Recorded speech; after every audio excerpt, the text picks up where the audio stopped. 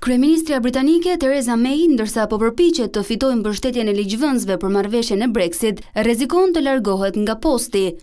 Sipas mediave britanike, kabineti qeveritar ka zgjedhur sekretarin e Mjedisit, Michael Gove, si kandidatin favorit që do të zëvendësojë kryeministren May dhe do të shpëtojë procesin e Brexit.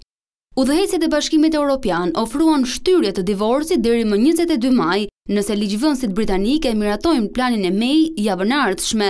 Nëse nuk e miratojnë, shtyrja do të jetë më e shkurtër, deri më dymbëdhjetë prill, dhe Britania do të duhet të dalë me vendime të reja ose të largohet pa marrëveshje. Ekspertët kanë paralajmëruar se Brexiti pa një plan të dakordësuar me Bashkimin Europian do të shkaktonte recesion në Britani dhe do të ngadalësonte rritjen ekonomike në bllokun europian. Ndërsa në një nga marshimet më masive, qindra mijëra vetë kanë protestuar nëpër rrugët e Londrës kundër Brexit. Mbështetësit e largimit nga Unioni e cilësojnë situatën e krijuar në negociatat me BE-në si poshtërim kombëtar përpara aleatëve europianë. Madje edhe kryeministrja Theresa May e pranon se vendi është në kaos dhe në krizë.